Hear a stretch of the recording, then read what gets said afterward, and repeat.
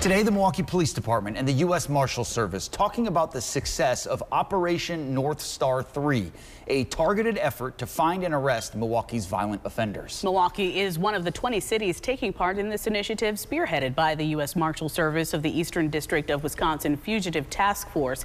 CBS 58's Yukari Nakayama has more.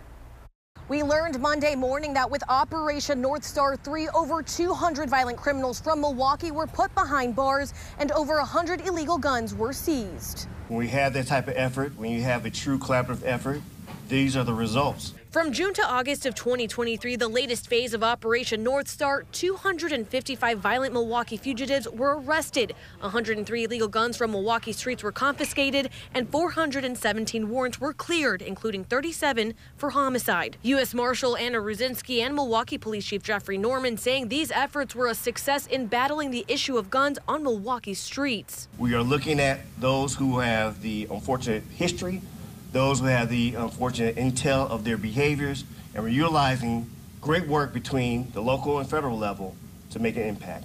Milwaukee joined the USMS on their second and third phase of this operation in January of 2023. In the winter, it's noted that the operation arrested 144 criminals and cleared 213 warrants. According to the U.S. Marshals, they seized over 500 firearms between the 20 cities involved in Operation North Star 3. One fifth of those guns coming from Milwaukee. U.S. Marshal Ruzinski credited her fugitive task force for going the extra mile. They don't just go in and find a body and take that body out.